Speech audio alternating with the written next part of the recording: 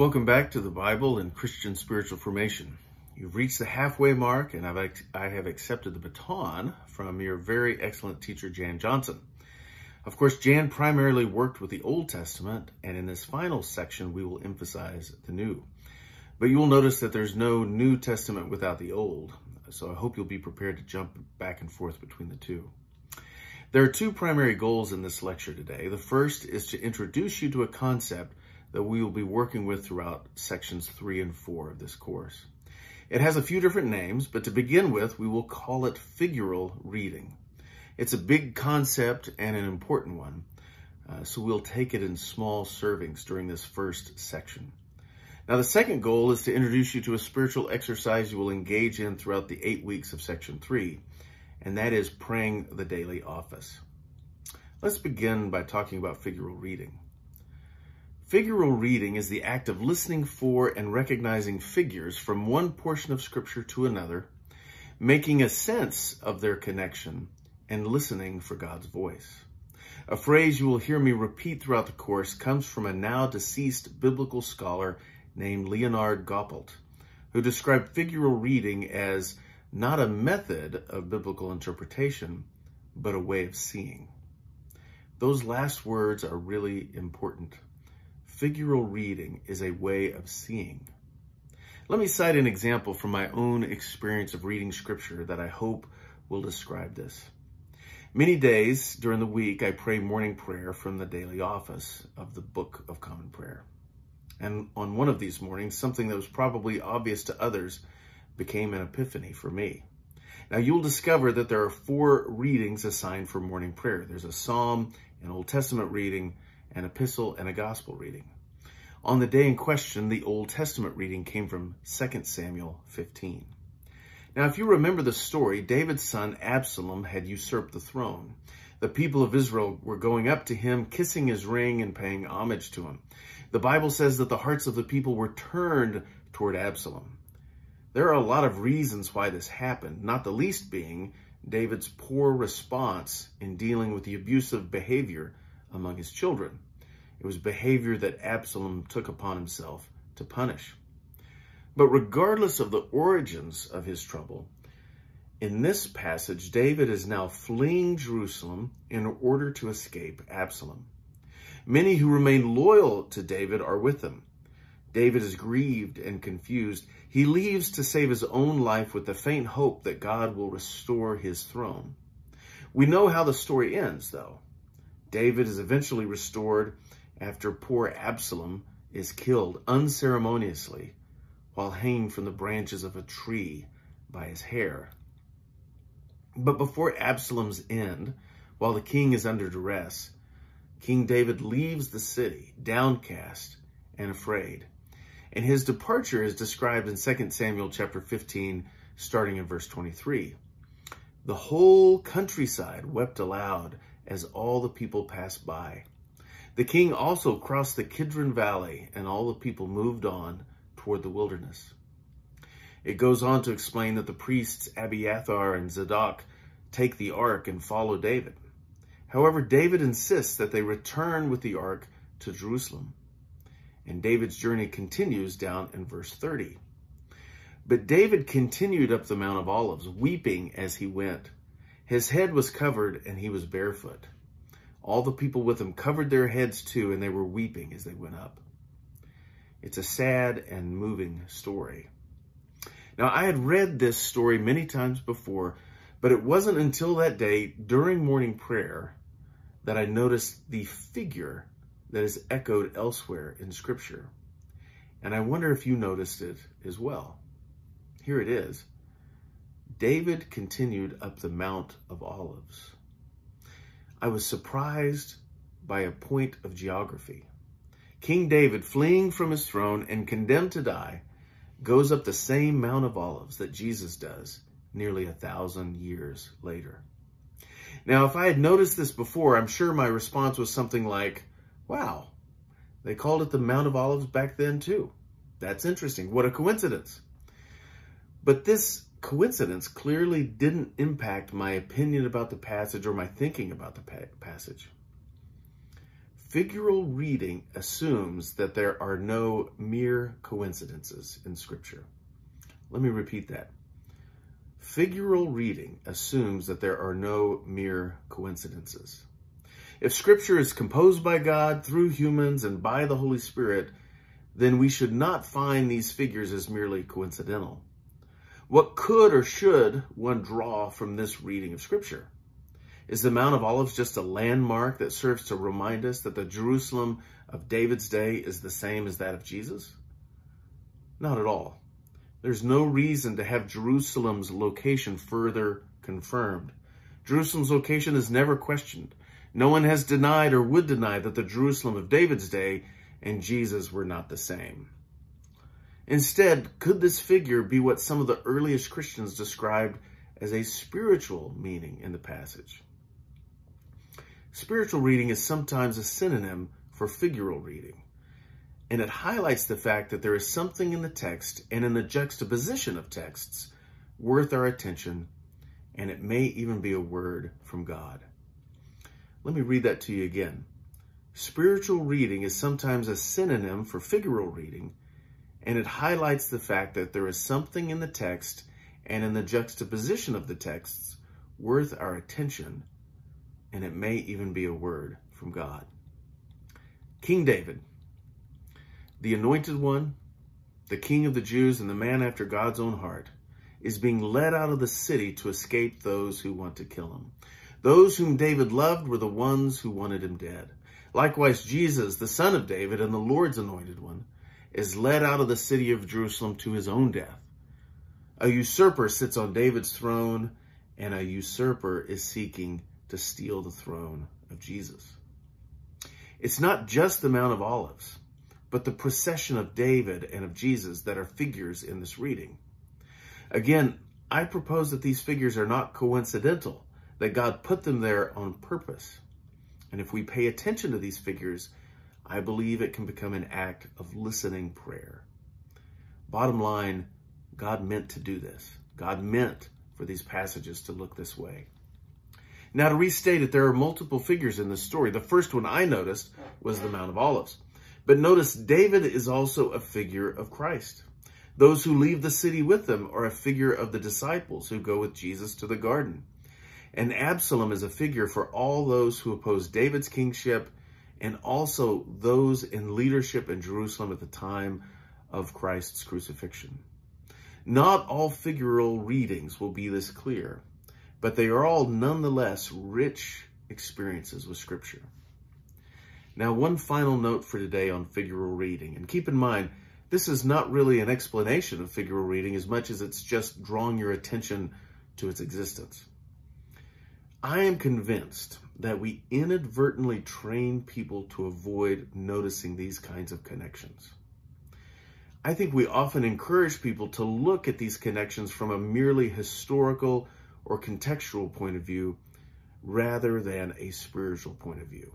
And I think this is especially true for those of us who are deeply ingrained in the evangelical tradition and the evangelical Protestant tradition.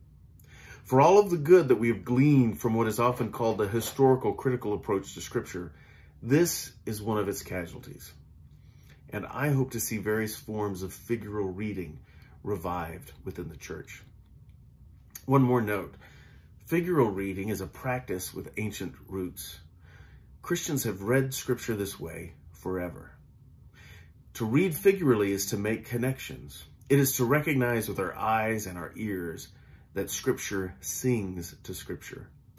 And it is God's voice that we hear singing. It is an important exercise then to look for these connections, and I'm convinced that praying the daily office is a great way to do this when coupled with the assigned readings from the lectionary and ears that are open to God's Spirit. Now, what follows is some instruction in history on praying the daily office. Praying and reading scripture in this way provides an environment where we can notice some of these figures that pass back and forth between the testaments. Now, for the eight weeks of this section of the class, you will pray the daily office from the Episcopal Book of Common Prayer, from the 1979 version. Now, you're already praying a form of daily prayer that you developed last spring. In this course, I am asking you to put that aside for at least the weeks that we are together in this class and pick up a form of prayer that will be both familiar and also very strange. For some of you, it will be easy to pick up and engage in, and for others, it will be more difficult. Now, let's speak for a moment about the origins of the daily office in the Book of Common Prayer. Your assignment, as I mentioned already, is derived from a prayer book that will look a little bit like this one. This prayer book has uh, the Bible in it as well in the world's smallest print, so it's kind of hard for me to read. Um, but you're going to be using this prayer book, the 1979 uh, Book of Common Prayer, and it dates back in its origins to almost 500 years ago in the English Reformation. And I'm just going to give you a thumbnail sketch of events that led to the creation of the prayer book. Now, I think all of you hopefully are familiar with Martin Luther, whose efforts in Germany led to the creation of a church that was separate from Roman Catholicism. Luther's ideas were flowing across the English Channel, and there were proto-Protestants in England who were inspired by his actions and ideas. However, such teachings were officially banned, and England remained a Roman Catholic country. And then in walks Henry VIII. Now, he's famous, of course, for his several marriages and for killing his wives. his first wife was a devout Catholic woman from Spain, and Henry had no real desire to leave her or the church until she was unable to provide him with a male heir. I don't have to fill in all the blanks here, but needless to say, Henry used politics, the church, and soap opera level drama to put her away. The Pope, of course, refused to acknowledge or allow the divorce, and this led to Henry VIII's famous break from Rome. But I think it's too cynical of an outlook to say that the Anglican Church emerged solely because of Henry's desire for a different wife or different wives. In fact, the contours of Anglican worship and theology were present in the British Isles for a long time, and there was a distinctly different flavor of Christianity that existed long before the break was made official. A form of Celtic Christianity thrived there that was distinct in some ways and consistent in others with Roman Catholicism. And this form of Christianity is reflected in the prayer book that you're going to use in this class. In fact, much of what we find in the 1979 prayer book has been preserved from prayers and forms of worship that were used even before the Great Schism between Eastern and Western Christianity, which took place in 1064. As a result, morning prayer from the 1979 Book of Common Prayer bears a remarkable similarity to the prayers in the Western Rite prayer book of the Eastern Orthodox Church. Let the reader understand. Some of you are familiar with Eastern Orthodoxy and some of you aren't, but you'll notice that there's this fascinating connection between the two. Now, one of Henry VIII's means of separating himself from Rome was the dissolution of the English monasteries. This tragic event resulted in the destruction of houses that held religious orders it resulted in the death of monastics and the claiming of their money and property for the crown. Now, while there was some theological reasoning behind the dissolution of the monasteries, it is generally held that it was a political move designed to quell dissent. The monasteries were international in nature and therefore loyal to the Pope. Therefore, they had to be done away with. Of course, monasteries played an important role in the life of Christian people uh, during the late Middle Ages. As you know, the most important work of monasteries was prayer, and monastics would spend their days and nights in prayer for the people in their surrounding community and for the entire world. This continues today in Benedictine and Eastern Orthodox monasteries around the globe. Monasteries the, during this time would often receive money from the wealthy who wanted their loved ones in purgatory prayed for. This was one of the theological reasons that was given to end the power of the monasteries. Now, how does all this talk of monasteries being sacked apply to the prayer book? One of the greatest gifts of the English Reformation was the empowering of the common person's prayer life. As wrong as the dissolution of the monasteries was, and it certainly was a great tragedy, um, it moved the locus of prayer from the professionally religious person, the monastic, to the common person in their home and in their congregation. Not everyone during this time could read, but the many who could began to enjoy the opportunities for regular hours of prayer throughout the day. These offices were the morning office, noon, evening, and compline. And the locus of prayer moved from the professional to the common man and woman or the common pastor in their congregation. It's important to stress that the Book of Common Prayer was not created out of whole cloth in the 1500s. Regular hours of prayer have been observed by Christians since the time of the resurrection. In fact, early Christians practiced praying the hours in the same way that their Jewish forebearers did. Undoubtedly, you've noticed this when you read the book of Acts. I think it's in chapter 3, where it describes the disciples gathering on Solomon's porch for the third hour of prayer. This was right outside the temple, and they did this regularly and in accordance with Jewish custom. Psalm 119 tells us, Seven times a day I rise to praise you. Now, this probably alludes to the practice of regular daily prayer that occurred in the synagogues that emerged after the Judeans returned from their exile in Babylon.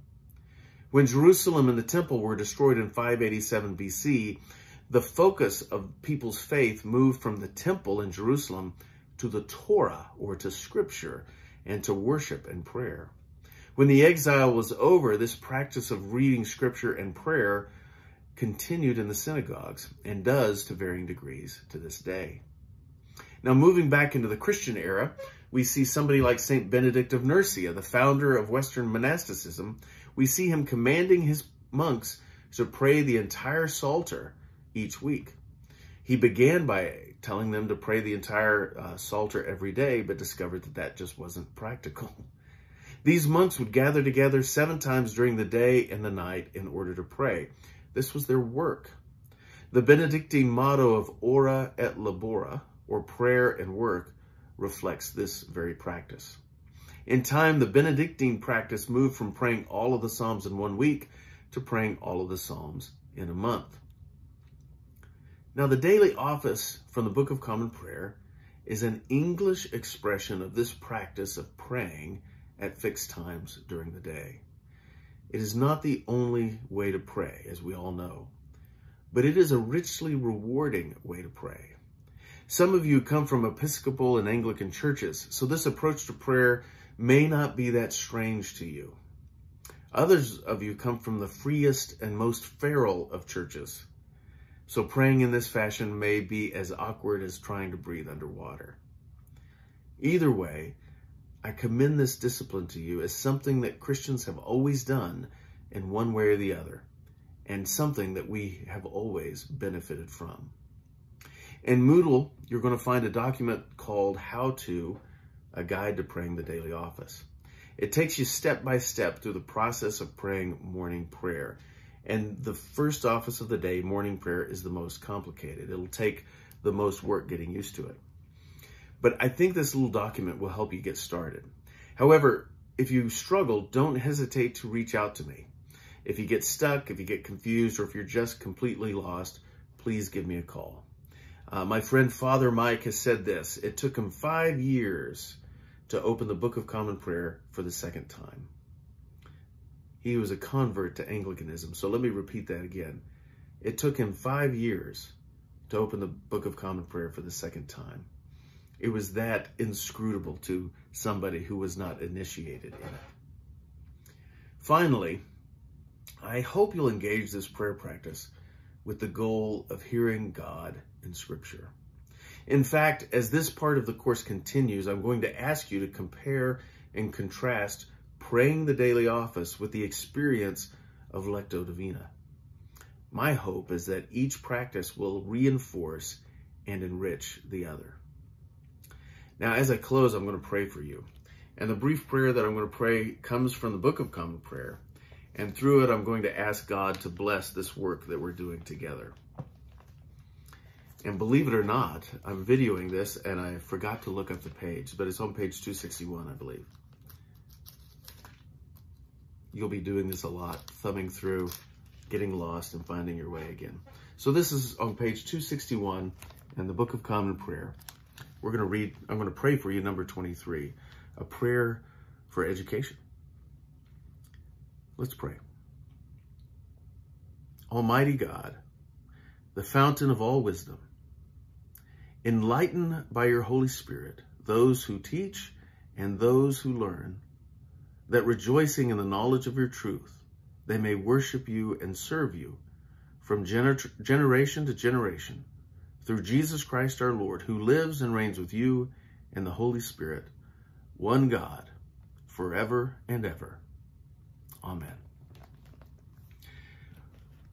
I do encourage you to uh, reach out early and often if you're having any challenges in this course. And I look forward to uh, our encounters through Zoom and on the phone, email, however else uh, we reach out to each other. Uh, let's stay in conversation as we do this good work together. May God bless you.